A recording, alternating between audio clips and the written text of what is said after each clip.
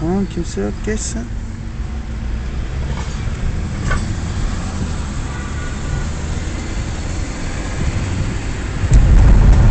Sonunda girebildik he.